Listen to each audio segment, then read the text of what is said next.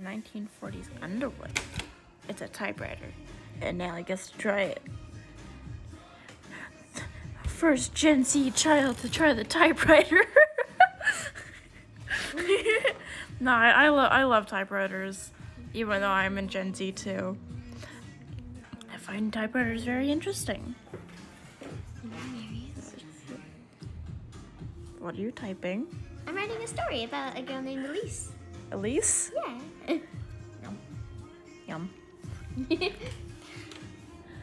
um,